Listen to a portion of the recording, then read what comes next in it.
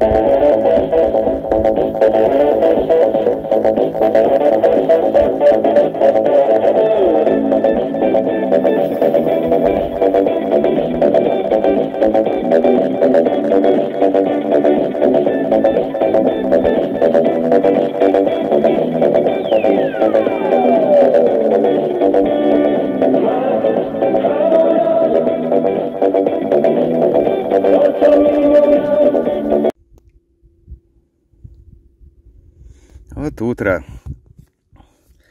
Выплыл я порыбачить немного, набрать воды посреди озера. Ну и так как утренняя зарядка, физкультура грибная. Ну, ветра почти нет, так слабенький ветерок. Вот там вот, где-то там, да, вот там стоят туристы. Вчера интересная была история. Приехал один человек, такой разместился там. Вот мой, кстати, островок тут начинается. Вот он разместился такой. Все, вроде думал отдыхать. И уже ближе к вечеру байдарка плывет. Там три парня. Они мимо проплывают, я слышу их разговор. Ну и что, если там кто стоит? Мы возьмем нагло, встанем рядом. Ну а что? Ну а? Я думаю, да, нет этикета, нет культуры. Человек стоит, стоянка занята, никаких тебе а чё, плыви дальше. Вот, они приплыли. Я смотрел за ними в трубу. Жарили какой-то шашлык, что ли, что-то такое. Бедный турист-одиночка. Так, наверное, он обломался. Очешники приехали. Вот, люди, не будьте такими, кто говорит, а чё? Есть на это один ответ, очень конкретный такой, сильный, но нецензурный. Вот. А это вот мой остров. Вот. Тут вот пристань, моя бухточка, куда я захожу и откуда выхожу. Небольшой совсем. Островок-то. А щук ловлю вот в этом месте. Здесь у них какое-то прям щучье царство. Но, правда, сегодня еще ничего не поймал. Взял сачок с новой сеткой, маленький спиннинг с воблером. Решил поплавать, но ничего. День солнечный, жаркий.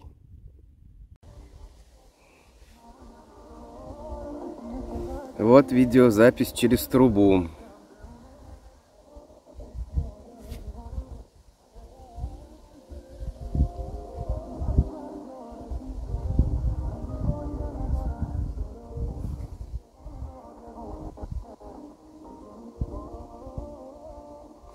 Отсюда до того места, где туристы находятся, вот эта палатка, байдарка, 500 метров, может больше. Вон кто-то там выходит.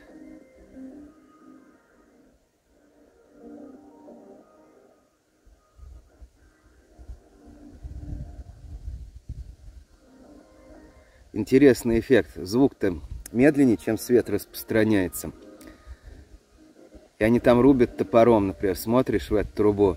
Уже удар произошел, а звук только спустя не секунду с небольшим. Вот ветер начинает трястись. Малейшее смещение, и вот так вот картинка плывет. Ну, прикольно так наблюдать в экранчик. Человек там четко пошится. Вот это вот одиночный турист. А справа палатка наглых парней, которые к нему присоседились. В уголке она там видна. А одиночный турист, такой дядька уже залысинами, с бородой небольшой, с усами. Все это видно с такого расстояния.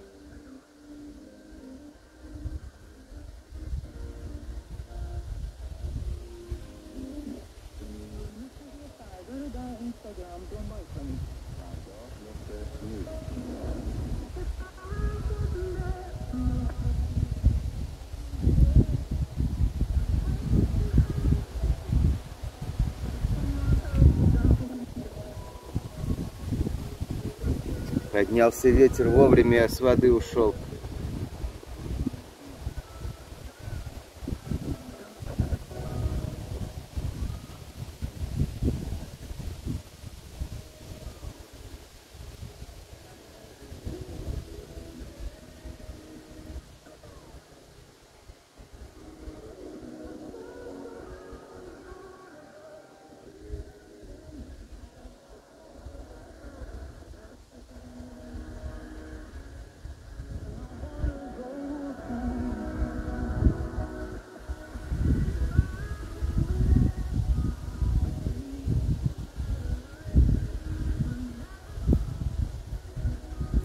Сейчас видел двух зверьков, ласки, что ли.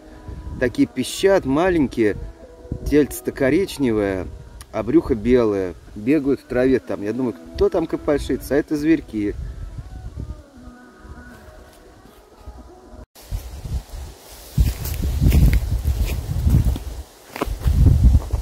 Вот опять я капусту готовлю. В этот раз с лучком. Лук добавил туда. Еще думаю яйцами сдобрить ее. И рис есть. Капуста сильно ужаривается. Хотя и сытная. С маслицем. То тушенка, тушенка. Нафиг нужна эта тушенка? Если вы на лодке, то возьмите лучше капусту пару кочанов, чем эту тушенку дрянную из туберкулезных коров. Вот. И будете наслаждаться капустой. А тут у меня запас шишек. Не каких-нибудь, а еловых шишек. Ель тут растет. На ней шишки здоровые. Такие хорошие шишки. Сейчас я подброшу. Казалось, шишками-то очень неплохо топить печь.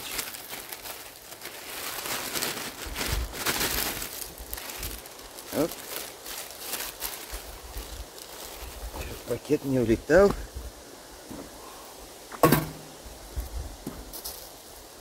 Они, конечно, прогорают быстро, но зато их много, и собирать их несложно, далеко ходить не надо.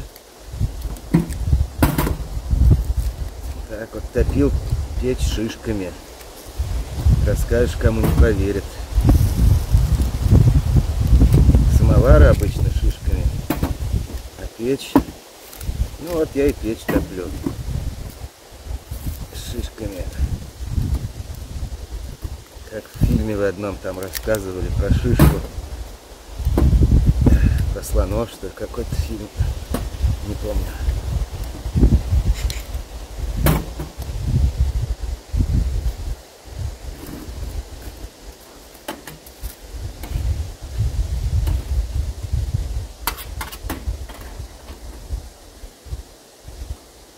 Так.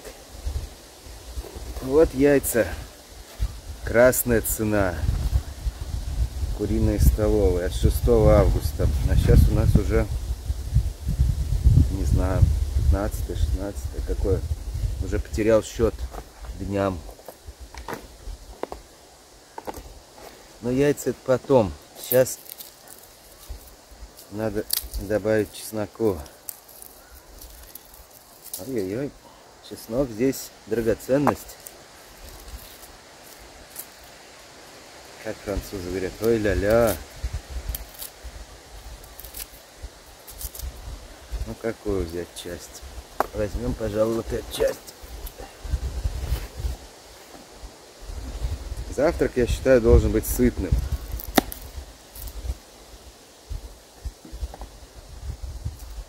Насыщенным таким, чтобы человек поел, полежал потом обязательно немного.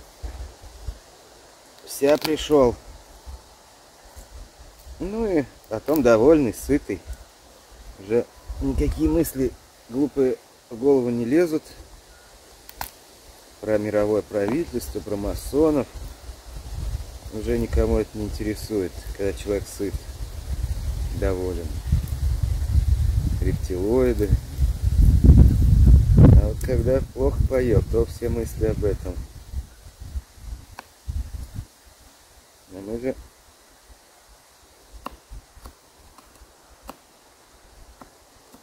Уже чайник вскипел на печке.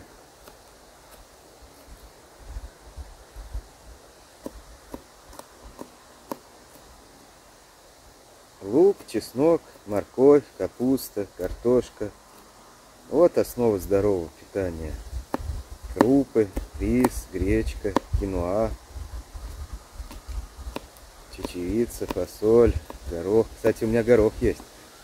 Будет отдельная затея варить гороховый суп.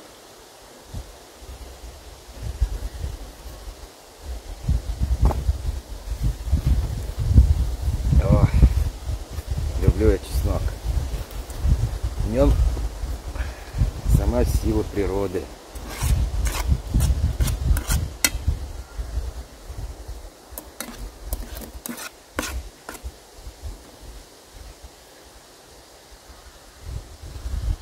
Посматриваю время от времени, какой там дым идет. Поэтому можно понять, как печь работает. Сейчас я загрузил туда топливо. Она приостановилась. Разгорается там все. Ну как раз сейчас не надо, чтобы сильный был жар. Чтоб капуста с чесночком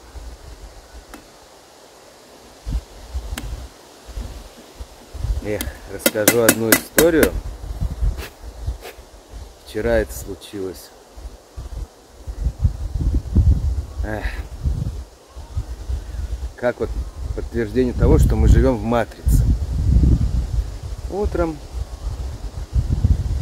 вот здесь вот где-то в камышах на пролом прям охотник проломился на своей лодке, выскочил на берег с ружьем, с ножом, все, и туда куда-то кусты убежал. А словки кричат, вот деду приспичило, деду приспичило. Ну, я про себя посмеялся, думал, вот приспичило, нашел место, где справлять нужду свою. Ну и ладно, и забыл про это. И потом, спустя некоторое время, отправился на рыбалку со спиннингом, туда, где щуки воются. Там же верша у меня стояла. Только подплыл я к этой верше.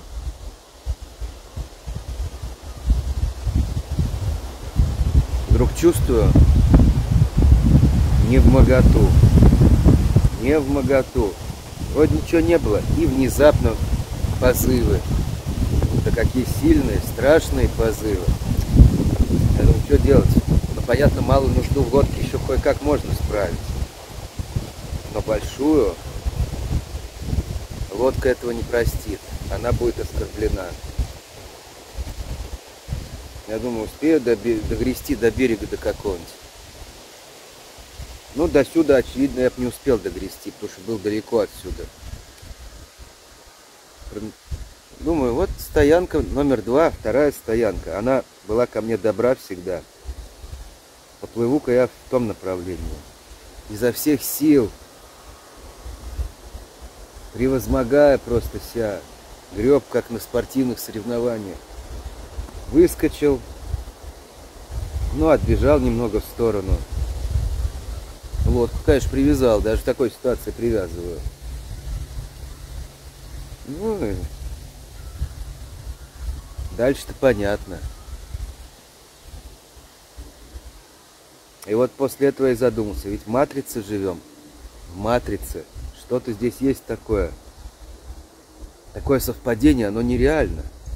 Чтобы сначала один человек по нужде срочно пристал к острову, а потом другой человек, который был на этом острове, срочно пристал по нужде к материку. Но не удивительно ли? Чудо? Вот так случилось. Поэтому мне особенно интересно наблюдать трубу за туристами на той стоянке. Их могут ждать там сюрпризы.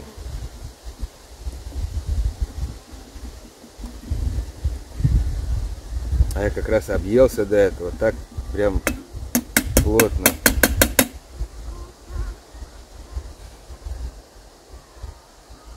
Нет, конечно, я не на посреди лагеря туристического в сторонку отошел. Ну, будут бродить там ночью в потемках, могут и подорваться. Тут уж моей вины нет. Надо под ноги смотреть. Лопаты-то не было у меня с собой, я ж не плаваю с лопатой. Так, конечно, я закопал, как я обычно делаю. Ну, тут экстренный случай. Обстоятельства непреодолимой силы. Вот. Почему я готовлю капусту? Во-первых, потому что она может испортиться. Уже вскрытая, порезанная капуста. Вот это из небольшого качанчика уже третье блюдо. Сначала я варил суп. Потом я капусту вот так же жарил, но без лука. А теперь решил пожарить с луком и еще и с яйцом. Сейчас она, когда... Да, она уже, в принципе, готова. Не хрустит, значит, уже все.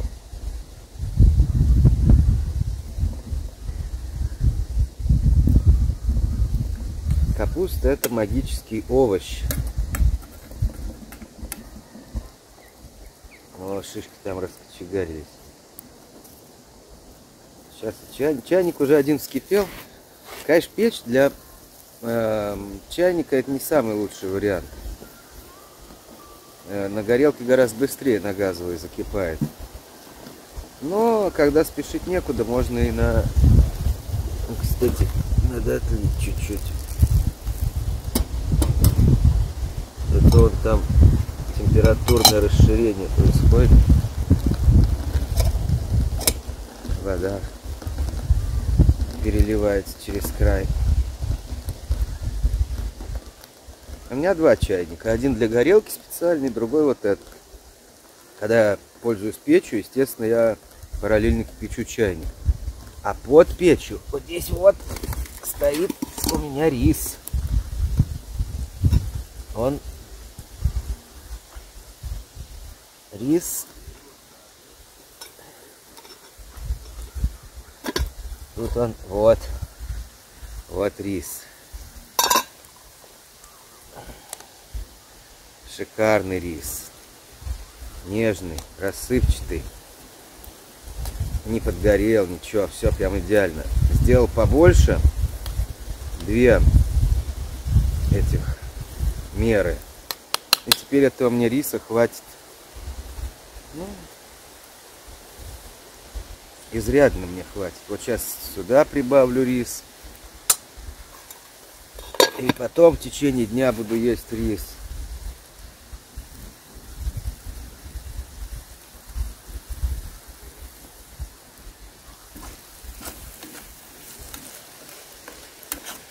Блюдо исключительно сытное и вкусное.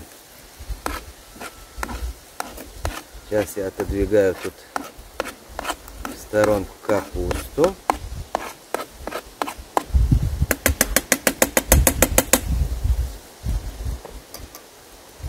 Только все маслица чуть-чуть. Тут с растительным маслом главное не перестараться.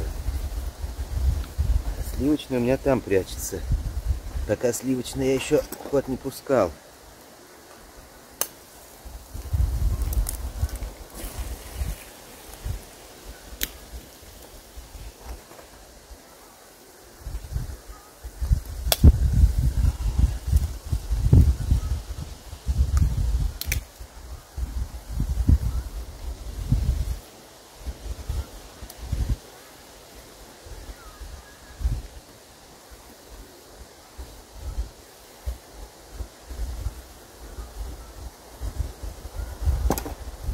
Так.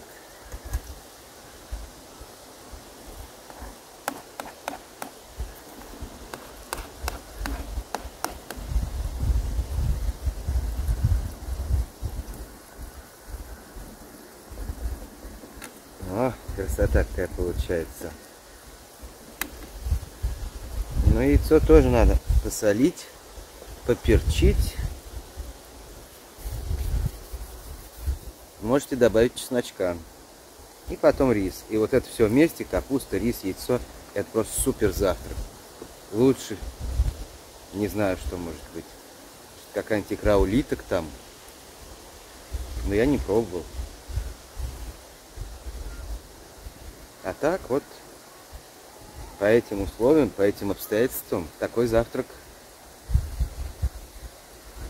вполне меня удовлетворяет.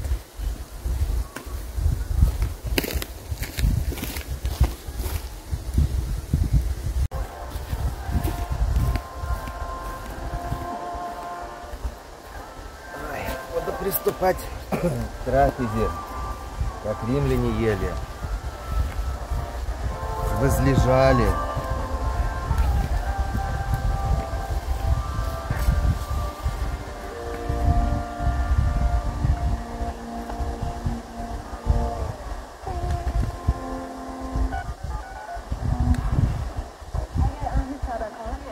Понемногу.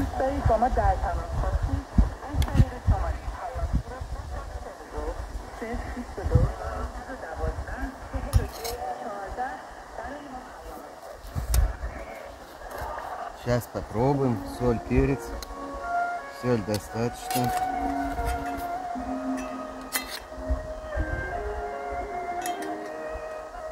М-м-м.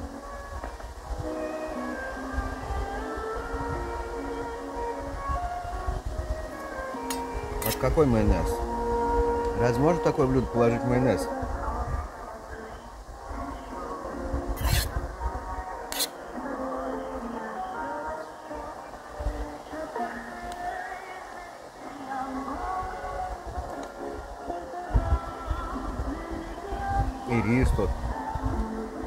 Яйца, капуста.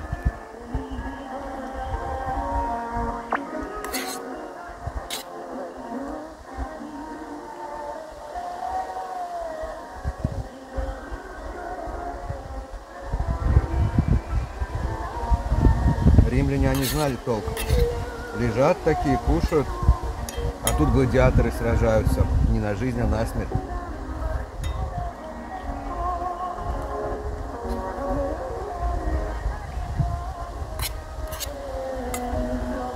Они, кстати, тоже ели. Вообще другой мир был.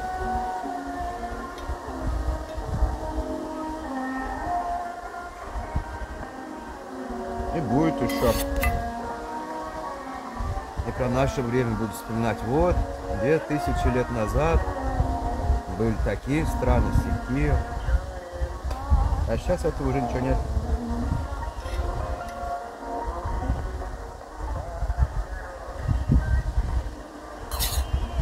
Китай останется, скорее всего.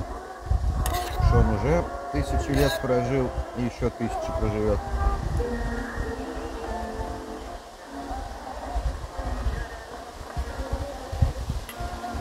Даже если инопланетяне вторгнутся, пытаются все равно найдут с ними общий язык.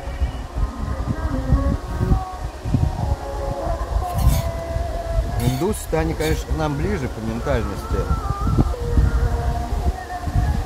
Тоже капусту едят.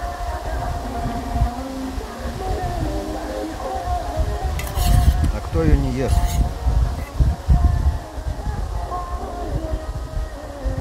Все люди едят.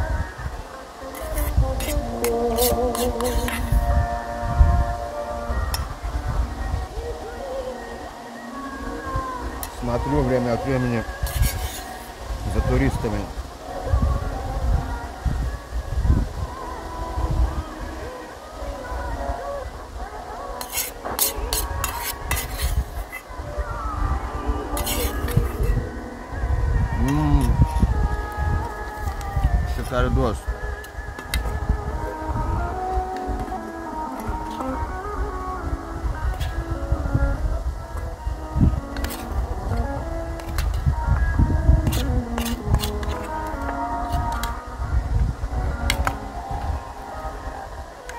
Со сковороды пока не складываю, потому что вдруг надо будет разогреть. Или, скажем, поперчить побольше. Хотя и так довольно острое. Я думаю, большинство людей традиционных, которые кухню такую не приемлют, не смогли бы такое блюдо есть. Где-нибудь в Индии, да, там бы Нормально пошла.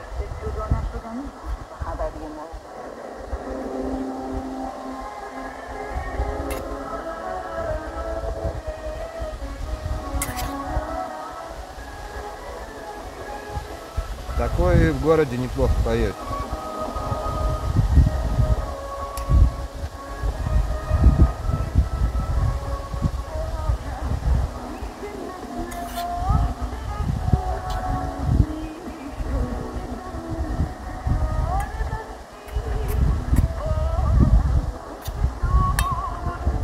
Что добавил лучок.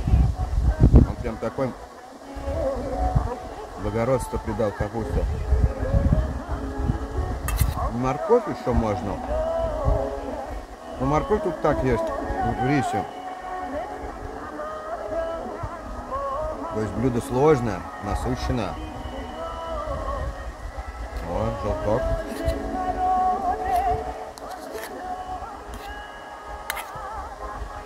Яйце я больше всего люблю желток.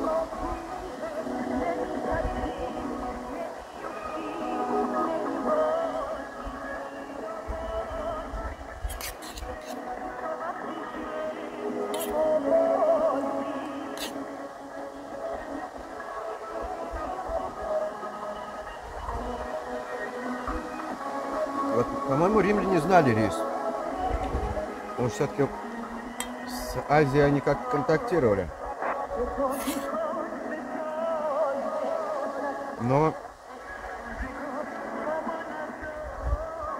он был там не так распространен, как в долине Янзы.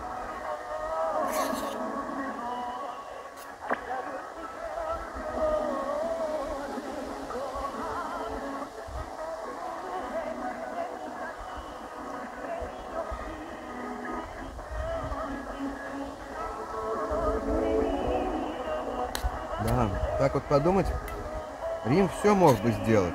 И порох мог бы сделать, и географические открытия великие совершить. Но что-то ему не дало.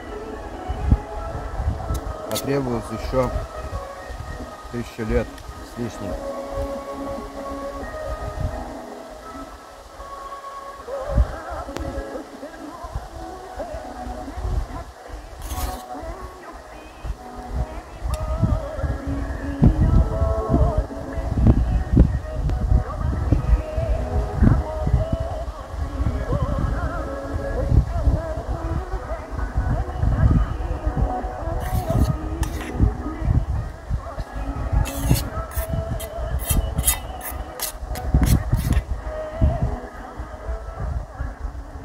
Можно ли считать этот прием пищи завтраком? Пол первого сейчас. Скорее это ранний обед.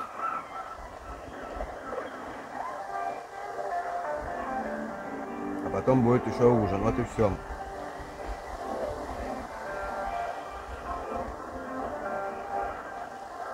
Тут два приема пищи.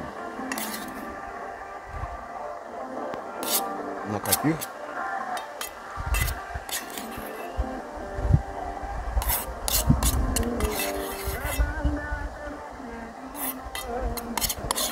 Уже объелся. А еще рис остается.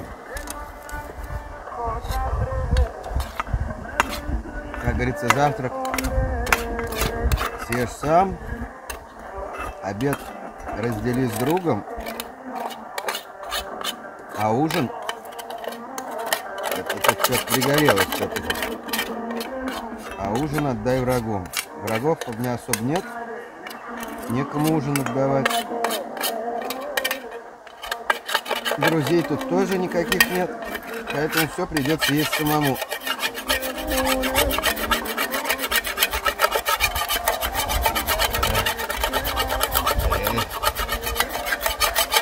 Со шкварками. Все надо есть. Все. Везде польза своя.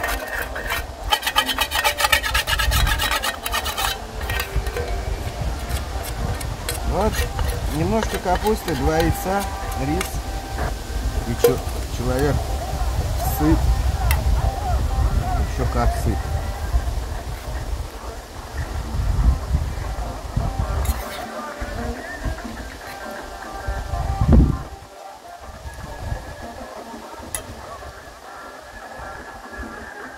Потому что чеснок, перец способствует аппетиту.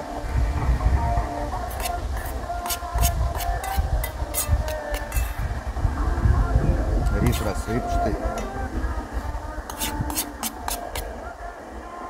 Супер басмати.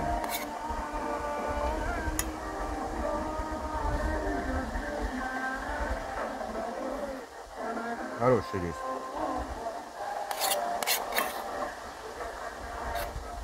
Он из Пакистана. Там разбираются.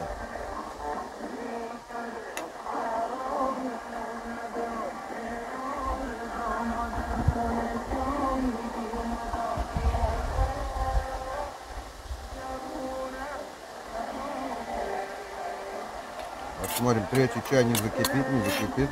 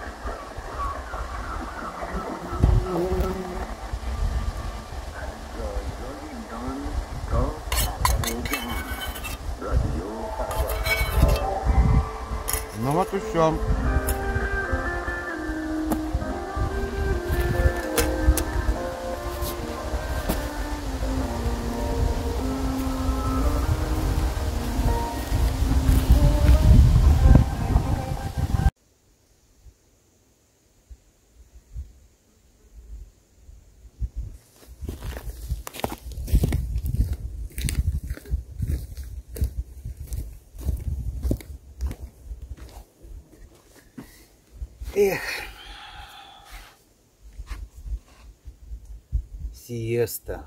Жарища страшная. Решил я чайку сделать. Ну, заодно расскажу, что сегодня происходило.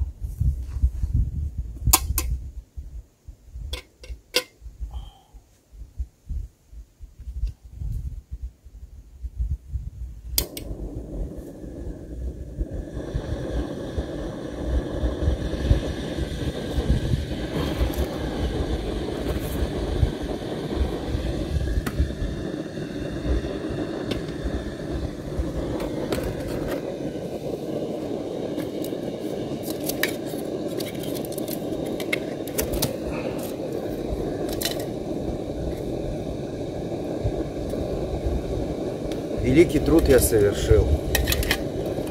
Там вот стояла сухая береза. Стояла, стояла. Я думал ее раскачать. Они иногда, когда раскачиваешь, падают. Но это опасное дело, потому что может на голову прилететь кусок. Сломается она там вверху. И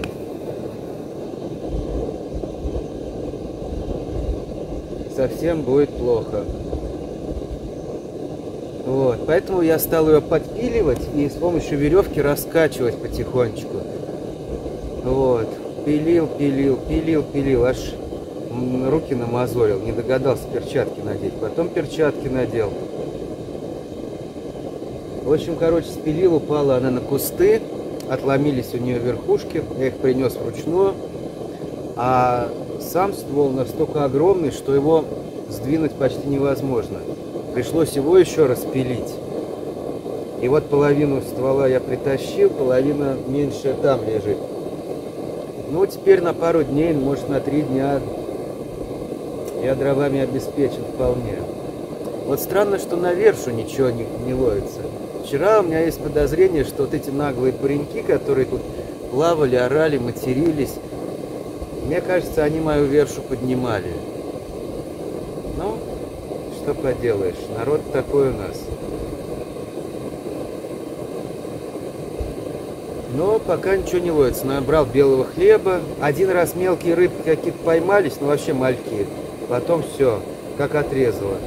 Хлеб съедают, но, видимо, маленькие рыбы проходят через ячею.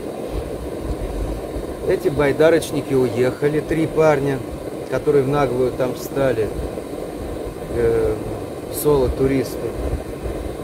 Сам соло-турист что-то не показывается. Видимо, так его это шокировало, что он в палатке там сидит. Я смотрю через трубу. Видно вообще детализация потрясающая. Отдельные иголочки насосных видны. Стрекозы, крылья стрекозы видны, как они там летают, пушинки. Все-таки японская оптика это что-то. И то это не самый высший как бы класс. Посмотреть бы в настоящую трубу. Какой-нибудь Сваровский там. Или Цейс. С большим таким объективом. С диаметром передней линзы 80 или там 110 миллиметров. Но даже вчера ночью я смотрел, они там с фонариками ходили. Вообще как в кино. Еще вот этот вот эффект длиннофокусного объектива, сжатие пространства, как будто смотришь фильм. А так глазом вообще какие-то огоньки, что-то, ну, не разобрать ничего. А через трубу видно, как они там насаживают курицу. О, закипел чайник. Пусть покипит, а то что-то болотный запах немного есть. Вот, быстро закипает. Никаких джетбойлов. Чайник с радиатором и все. Пусть покипит. Вот этот запах болотный такой. Много травы, тина, тут гниет все. Лето. Много биологии. Это не то, что весной вода холодная, чистая. А сейчас все цветет. Рыба что-то не ловится пока. Никакая. Ну вот, три щуки я поймал за это время. Одну съел, две отпустил. Маловато они были. Ну что, грех. Были малодушные мысли, типа пожарить. Ну, думаю, ну что это такое жарить? Ну, отпущу. Я тут не голодаю, хотя у меня вот там огурцы портятся. Сегодня вечером буду что-то с огурцами делать, наверное. Яйца, огурцы, может. Ну, посмотрим. А еще немножко пусть покипит. Вот этот баллон газа с первого дня, с субботы прошлой, а сейчас, по-моему, среда. И не думал кончаться. А у меня их три баллона, три. То есть я тут, ну, пользуюсь я как им. Два-три раза в день кипячу чайник. Три даже редко, чаще два. Ну, скажем так. Только кипячу чайник, ничего не варю. Все готовлю на печке. Да и маленький чайник там тоже кипячу. Вчера до позднего, наверное, часов до двух, может быть, до трех я уже спал. Дикая дискотека какая-то вот там, вот быть сухо, отвратительная. А я что-то прибухну, я прибухну. Ой, думаю, как же это быц, быц, быц по воде разносится. Думаю, как хорошо весной вот этого всего нет, прибухну скотство. Скачут там какие-то утырки обдатые, все пьяные, глаза на выкате, потные, скачут. Фу! И это называется праздник, радость. Вот это быть сухо, вот это быц-быц, прибухну. Отвратительно. Просто отвратительно.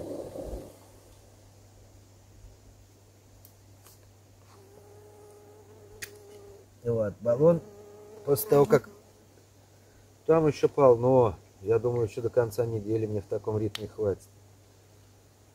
То есть, наверное, на неделю баллон хватит, вот если два раза в день чай на нем только варить. Здесь, кстати, надпись сделана, сколько грамм, потому что я потом дозаправлю. Решил я дозаправлять эти баллоны, перезаправлять, не выбрасывать. Ну, вроде держат они. Че их выбрасывать-то? Держит газ. Так, теперь будем заваривать чай. Это целая процедура. Сначала слегка надо обшпарить сам сосуд. Кипяток здесь ценность. Его я низко свою солью. Так, теперь берем чай. Остатки былой роскоши. Чай со Шри-Ланки. Зеленый. Эх, как же там хорошо. Теперь не скоро, а может быть уже никогда в этой жизни, или только в старости. Вот удружили нам наши власти.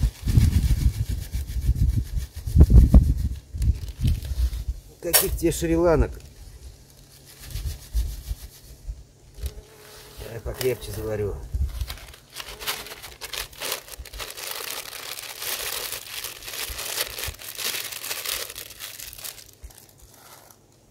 Вот. Что это он там? Он зацепился за... Вот видите, какая ситуация. Он зацепился за...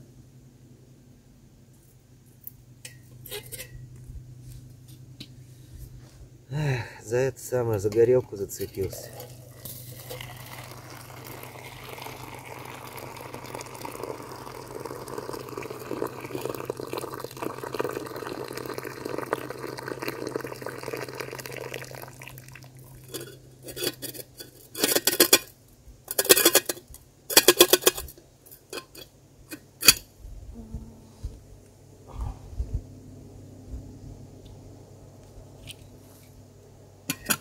Все убирается.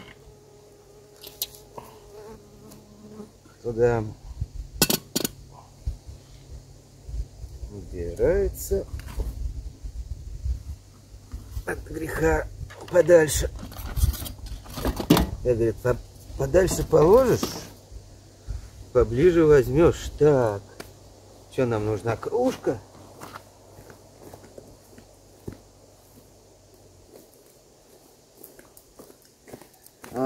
Вот. Ну, еще сегодня совершал гигиенические процедуры. Искупался так хорошо, побрился.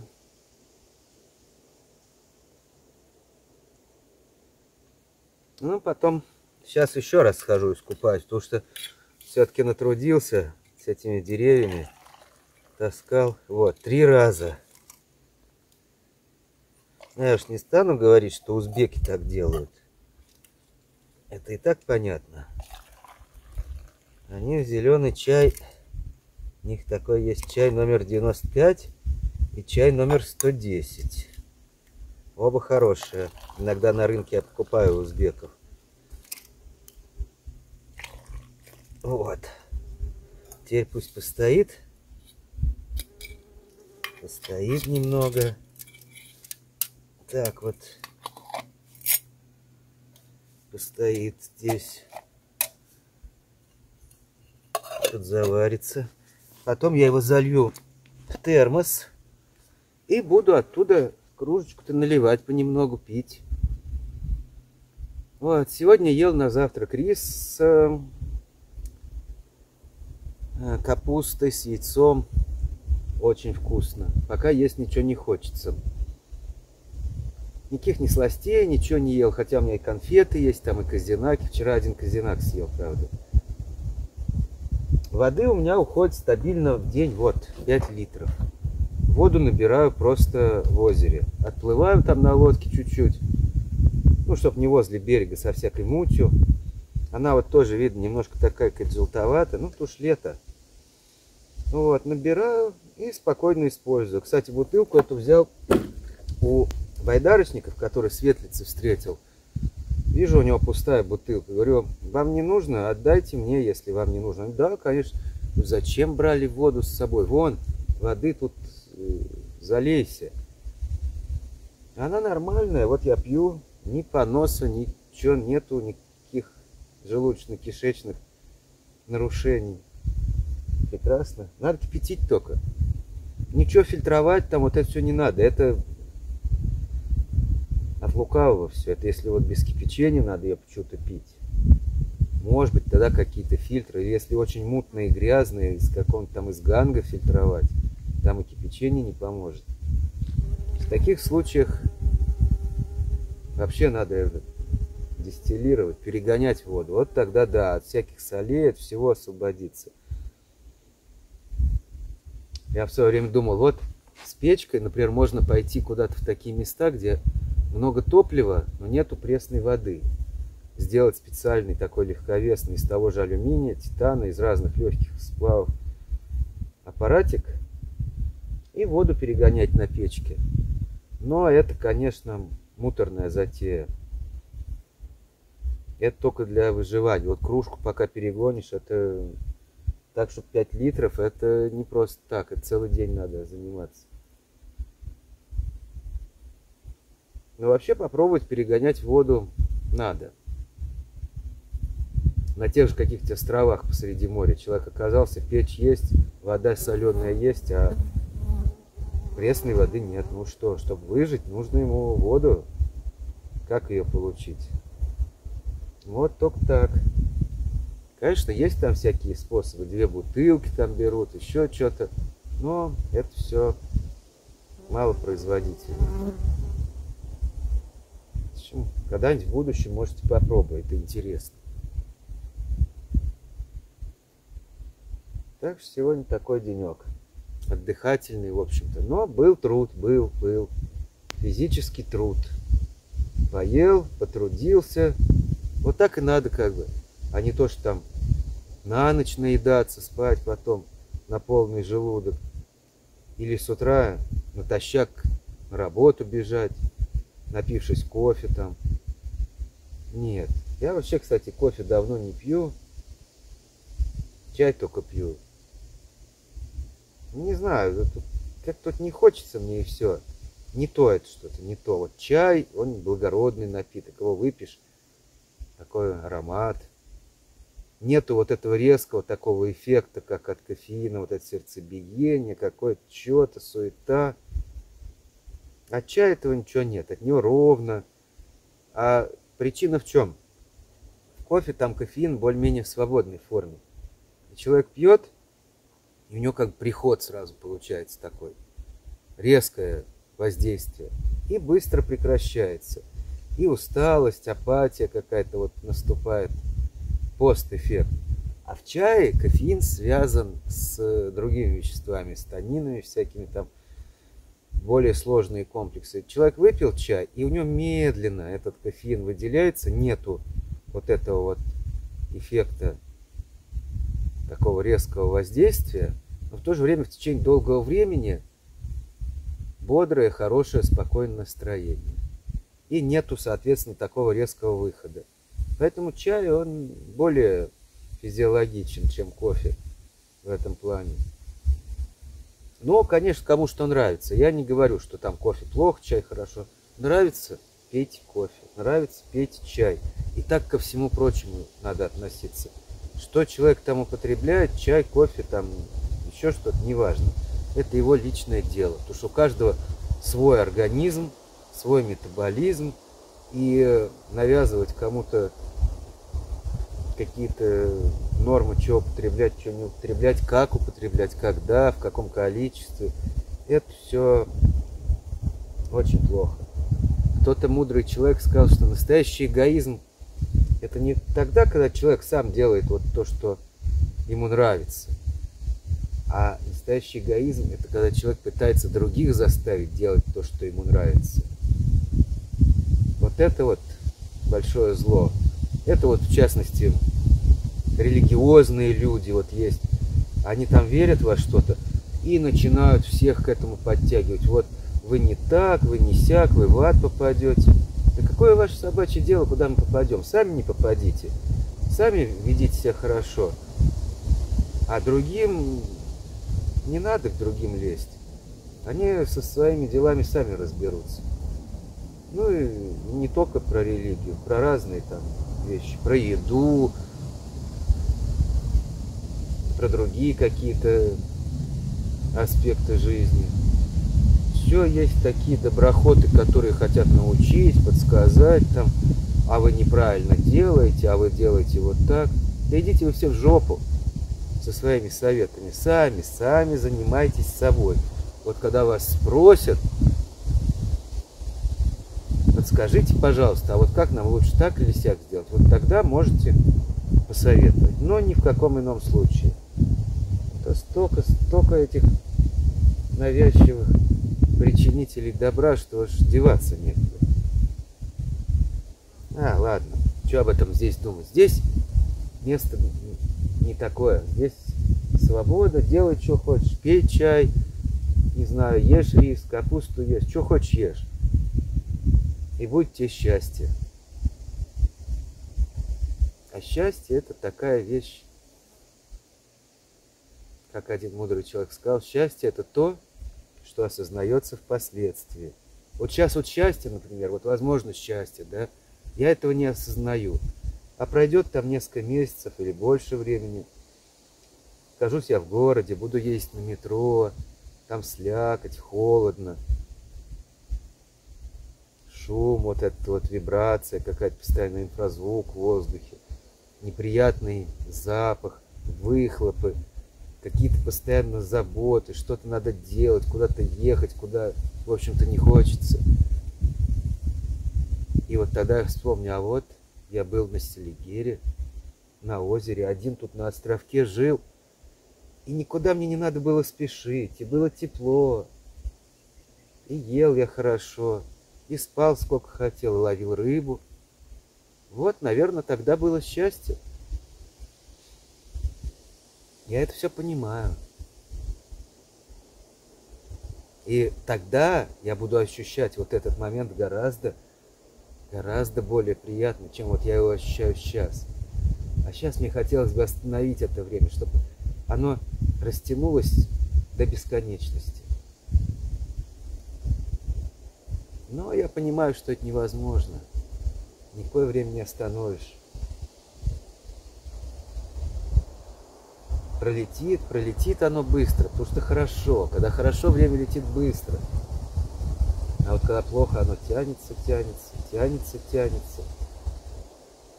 Нестерпимо долго. Ну, ладно. Вот шишка.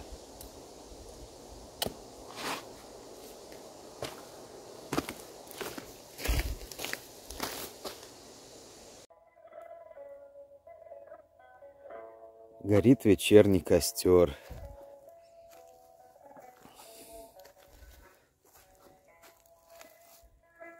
из этого огромного бревна, из дерева, которое я свалил, сухого. Это береза. А вот тут вот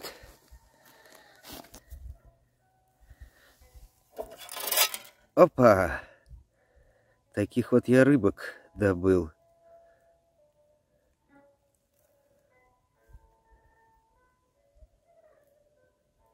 И вот пока думаю, что с ними делать. Может быть, жерлицы какие поставить, а может и выпущу их. Что-то у меня, особенно в этом походе, миролюбивое настроение по отношению к рыбам. Много овощей, наверное, потому что особо такой нет потребности в рыбе. А вот дрова.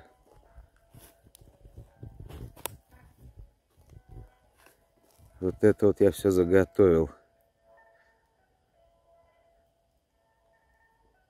Здоровенный ствол.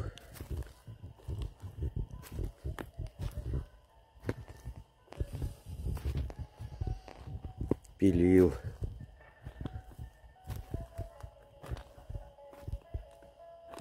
Вот это лежат для печки дрова. Всякие веточки. Тут же кора, береста. Вот печь. Чайник стоит, сковорода.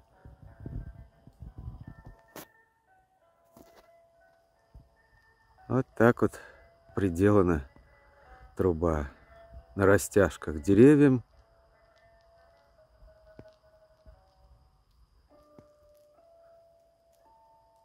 Вот так вот. А одна из растяжек, она используется, чтобы сушить одежду.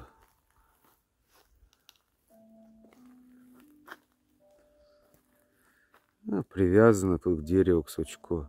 Какую-то проволоку я нашел. Не знаю, может для чего-то использую. Вот сейчас я пережигаю.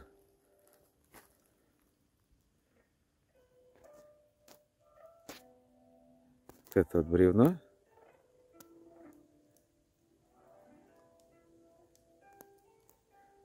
Задача в том состоит, что пополам его пережечь. Но оно как бы еще погорит при этом. Даст тепло, свет, дым. Ну и разрежется на две части без всяких усилий с моей стороны. Потом займемся и вот этим вот бревном.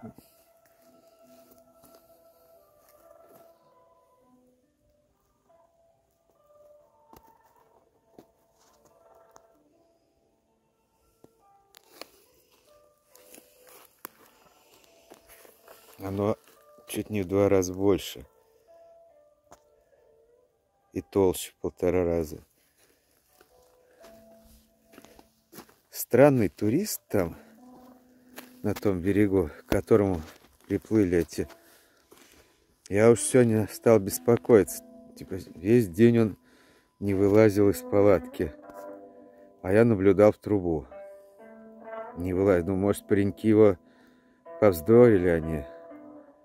Вечером что-нибудь обсуждали там не сошлись во мнении. И укокошили его. Ну, что делать? Милицию вызывать. Вызова, а он жив. Надо пойти проверить. Но, опять же, страшно. Пойдешь туда, а там какие-нибудь следы преступления. В том, как На тебя же повесит убийство. Нет, лучше подальше от таких случаев держаться. Чем я такой задумался, думаю, да, сейчас тут приедут, будет следствие. Неприятно будет.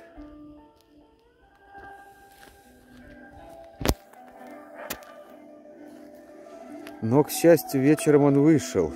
Уже когда стало темнеть, когда я с рыбалки приехал.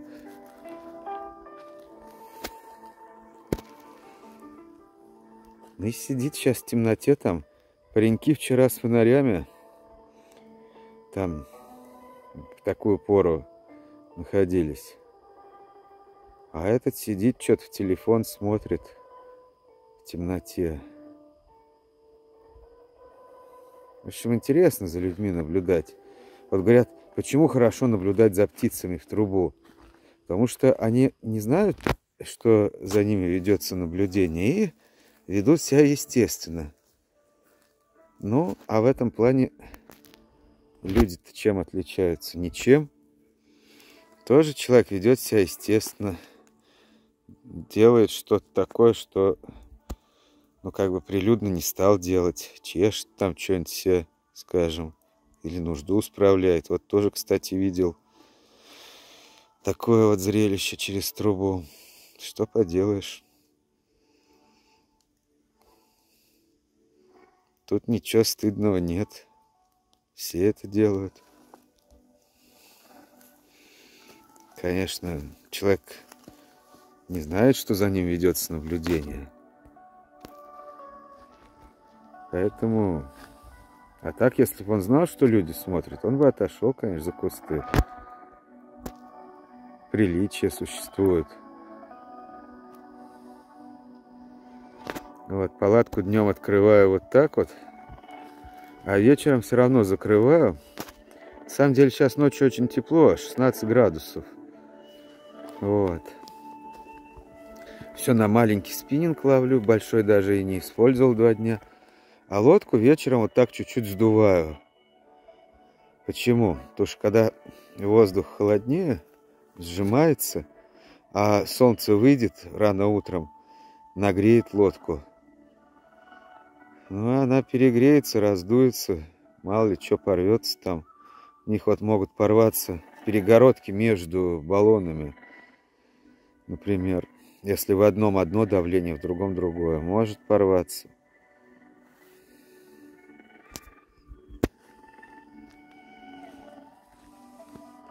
Вот тут вот я лежу, слушаю радио и временами посматриваю на другую сторону пролива, там, где вторая стоянка. Резкость, конечно, поразительная. Отдельные иголки на сосне видны, крылья стрекозы.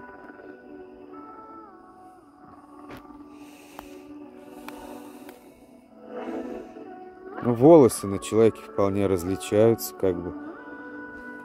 Очень-очень резкость большая. Вот. Китайское радио поет. По электричеству вот две солнечные батареи как раз обеспечивают мне вот непрерывное, можно сказать, прослушивание радио. Ну, правда, сегодня я не слушал несколько часов. Надоело как-то, в тишине сидел. Ну, по желанию. Хочу слушаю, хочу не слушаю. Да и некогда было. То я пилил, то я плавал куда-то, то еще что. Тут не все время находился. Вот. И заряжаю то вот эти маленькие аккумуляторы, то большие с помощью зарядного устройства. И мне хватает. Это одна батарея. Ну, конечно, их чередую. А вторая повербанк. Повербанк заряжаю, от него телефон быстрой зарядкой. Потом ставлю опять его. То есть я могу за день, ну, один раз, можно сказать, до 100% зарядить, а второй процентов до 40-50 повербанк. И в промежутке зарядить телефон. Так, чтобы телефон у меня никогда не разряжался и не было там мало в нем заряда. Вот две батареи. И то при ярком таком солнце весь день. Так вот, с электричеством, конечно, его надо экономить в походах. Полная автономность. То есть вот я ни в какие магазины не поеду.